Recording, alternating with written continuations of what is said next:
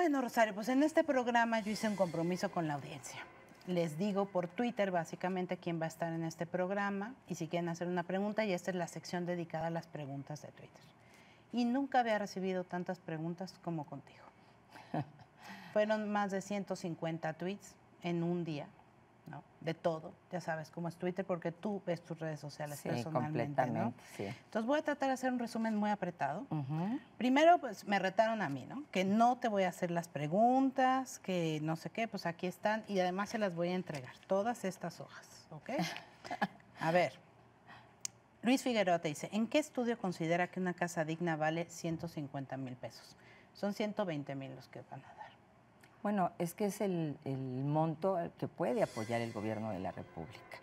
Evidentemente que la casa puede ser mucho más grande, puede ser mejores condiciones, pero nosotros no podemos estar, el gobierno, construyendo las viviendas de eh, ingresos superiores a quienes están en una condición de pobreza. ¿Pero una casa digna se puede construir Pues por lo menos desde que llegó el presidente Enrique Peña Nieto, tienen dos habitaciones porque eran antes de 30 metros cuadrados, de una sola habitación. 40, son casi 50 metros cuadrados con dos habitaciones. ¿Por qué? Porque tenemos que combatir el hacinamiento y todas estas viviendas van a tener este carácter de progresividad. Pero tiene que haber una base y un trato parejo para todos, Katia. Okay. Eh, Silvia Norma te pregunta eh, sobre que no han llegado ayuda a ciertos municipios de Chiapas. Luego Mael Gama te hace otra pregunta, que hay zonas de Ixtapalapa eh, y Santa Marta Catitla que no han llegado.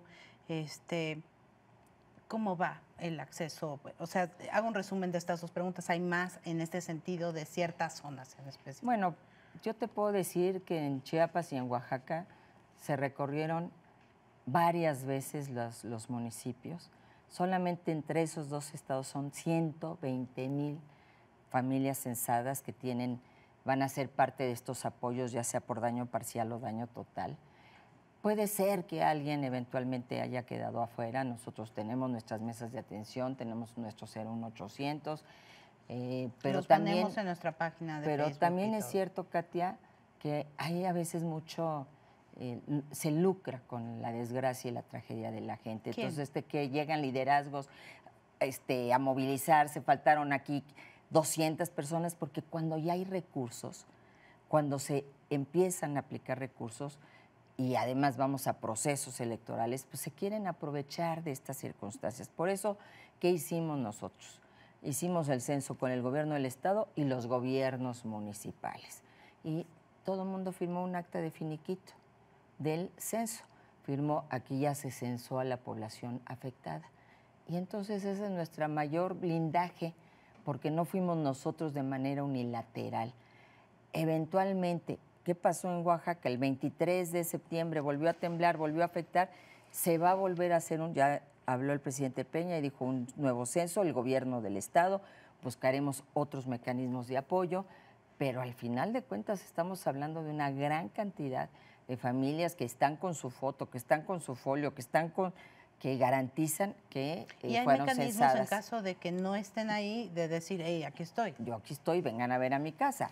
Pero es muy difícil que esto haya pasado a menos de que el 23 de septiembre haya afectado la vivienda. Este es un tuit un tanto sarcástico, pero te lo hago. Queja Ciudadana dice, ¿las tarjetas terremotos serán rosas o azules? Blancas. Okay. Em, a ver, ¿dónde está el dinero de las donaciones? Esto es, seguramente te ha llegado a ti también por muchos chats de WhatsApp, ¿no? Lo pregunta arroba wicha5. ¿Qué tal eh, eh, empresa dio tanto, tanto? ¿Usted está manejando ese dinero? ¿Cómo se está manejando el dinero? ¿Cómo va a ser transparente? ¿Ese dinero se ejerce aparte? ¿Deciden ellos cómo se invierte? Explícanos lo de las donaciones. Ni un solo centavo de las donaciones los maneja el gobierno de la República. Ni un solo centavo. Para eso se constituyó el Fideicomiso Fuerza México, totalmente privado. Ellos van a decidir, ellos han estado visitando.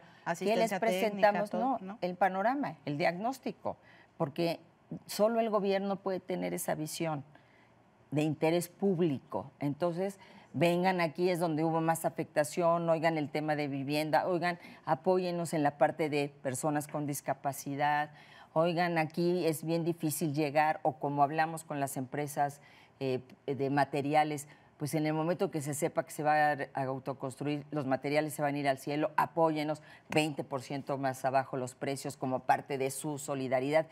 Es como nosotros intervenimos, pero sin manejar un solo peso y como ellos lo han definido. Van a ir a ver si realmente en un, van a agarrar como municipios, como comunidades, en donde realmente se refleje es, en escuelas, están muy interesados en nuestros templos, patrimonio cultural, eh, va a ser muy tangible. Esos 48 mil millones no son de dinero federal, sino es un global. No, es dinero del gobierno de, federal, de los fondos de desastres lo naturales. De las donaciones más lo de las donaciones que han informado ellos y realmente. Que son varios miles de millones de pesos también. Pues son como 3 mil millones, ¿no? Mm, eh, que se tendrán que aplicar.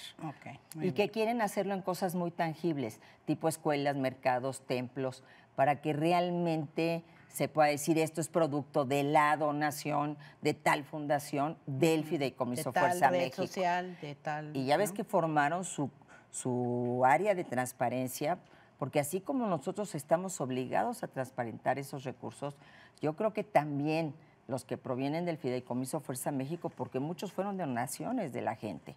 Es decir, que los bancos convocaron a la gente, que la fundación eh, o que Telmex eh, eh, o algunas otras pidieron a la gente. Entonces, ese es recurso que viene solidariamente de nuestro pueblo, que siempre, siempre está a la altura de estos acontecimientos. Pero por el gobierno no pasa un solo centavo de eso, ni un centavo. Lourdes Mora, arroba Lu Mordas, que luego me retan que no hago estas preguntas. A ver, ¿te consideras una mujer honesta? Absolutamente. ¿Que dignamente puede representar el género femenino? Sí, además porque he luchado toda mi vida por los derechos de las mujeres, así es que sí, sí me considero. Josie Saga, arroba el Rota, te pregunta, ¿tiene alguna aspiración para el próximo sexenio? ¿Por cuál partido va? ¿Entiende el descrédito que la describe hoy? Pues mira, yo creo que ahí se dicen cosas buenas, se dicen cosas malas, así es la política. Yo a mi trabajo, yo como digo, este día tengo que trabajar, mañana quién sabe qué suceda ni ando pensando en, en... el próximo sexenio? Ni en el próximo sexenio. ¿No perteneces a ningún partido? No, hasta ahora no. tú sabes que desde que salí del PRD no he estado en ningún partido. Soy absolutamente leal al proyecto del presidente Peña, pero yo estoy muy satisfecha con mi trabajo, con lo que hemos realizado, con lo que hacemos todos los días. Y mientras la gente que es beneficiaria de estos programas esté contenta y esté eh, con una sonrisa nosotros estamos también muy contentos. Yo por lo menos, Katia. Perfecto. Te voy a entregar. Eh, hay preguntas de San Luis Potosí, San Quintín, cosas como muy este, puntuales, pero hay muchos tweets que llegaron que te preguntan sobre la estafa maestra. Este, pues, gran reportaje de Animal Político, ¿no? ¿Qué, ¿Qué piensas sobre la investigación? ¿Que tienes algo que decir al respecto?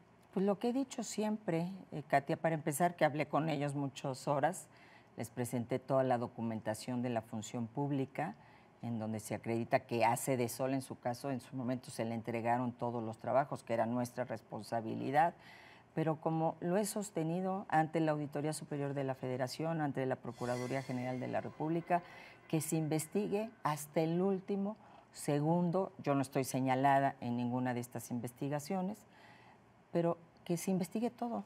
Y si hay que castigar a alguien, que se castigue, que se aplique la ley. Soy la primera en demandarlo, en exigirlo, Katia. Perfecto. Ramón R. Gómez 033 te pregunta, ¿desviaste recursos del Estado mexicano? ¿Desvié recursos del Estado mexicano? No. Qué chistosa la pregunta, ¿no? Sí, pregunto. Samir Omar Robles, eh, bueno, sí, sobre las empresas fantasma, que si te estás callando con todo lo del sismo para que no se nos olvide. En fin, muchísimas preguntas de la estafa maestra, pero eso es lo que tienes que Primero hay que hacer un buen reportaje. Hay que hacer una buena investigación y primero hay que documentar todo y una vez que se concluyan todas las investigaciones de las autoridades competentes, que se finquen responsabilidades. Pero no podemos estar acusando a la gente sin una investigación de por medio y que sin que se comprueben delitos. Esto yo creo que también hay que defenderlo mucho, Katia. y defiendo el hecho de que se haga una investigación como se está haciendo y que se llegue a conclusiones.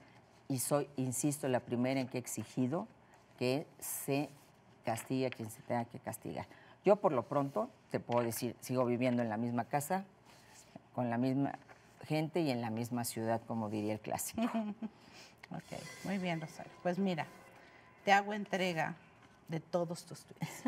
¿Y aquellos por qué ya no? Eh, ah, estos son este, otras ideas, no ah, eran tweets, ¿no? Que, es la reconstrucción, que hace la SEDATU, cosas que me, leí yo para prepararme para ah, muy Bien, muy bien. No son tweets, no me estoy quedando con ningún tweet. ¿eh? Pero si quieres responder a cada uno, pues yo sé que está difícil. me parece increíble Imagínate, ya hasta inventé un sismo. ya está, ya está, ya, ya tú pues, no dices que si con el sismo quiero desviar la atención, digo, ya hasta tengo el poder de hacer que tiemble la tierra para distraer la atención de las personas. Fíjate, fíjate. Sí que soy poderosa. ¿eh? Pues sí. Bueno, qué bueno que las mujeres tengamos cada vez más poder. Por eso hemos luchado todo el tiempo. Gracias. Pero no de hacer temblar, todavía no. Todavía no. Bueno, uno que otro, le tiemblan las piernas. Muchas gracias. Gracias, Katia.